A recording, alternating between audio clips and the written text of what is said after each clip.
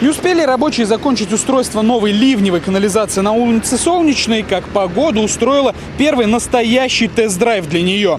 И если раньше, после такого дождя, который был сегодня утром, улица Солнечная покрывалась лужами, которые закрывали автомобильные колеса, то теперь, спустя пару часов после дождя, дорога практически сухая. Тем не менее, сотрудники профильного муниципального предприятия выполнили профилактическую промывку коллектора после строительно-монтажных работ для соблюдения всех технологических этапов.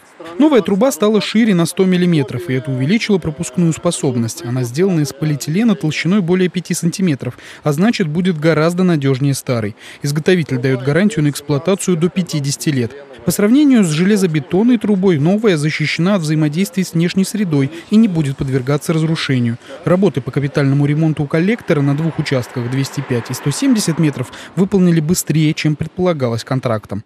Хочется отметить изначально, в соответствии с проектом организации строительства, э, работы подразумевалось сделать за три месяца. Мы эту работу сделали за два месяца, как и обещали. Э, перед закрытием, э, то есть учитывая социальную значимость объекта. Из-за ремонта пришлось временно перекрыть движение на Солнечную от 22-го партсъезда до Шверника.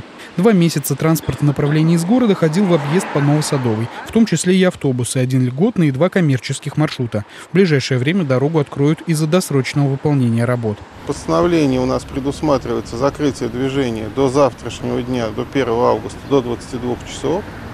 То есть с 22 часов завтра должны быть убраны все э, дорожные знаки, ограничивающие здесь дорожное движение, а общественный транспорт поедет с воскресенья. Рабочие закончили и благоустройство территории, восстановили дорожное полотно с применением высокопрочного асфальта, а также разделительную полосу и газоны. Андрей Горгуленко, Константин Головин. События.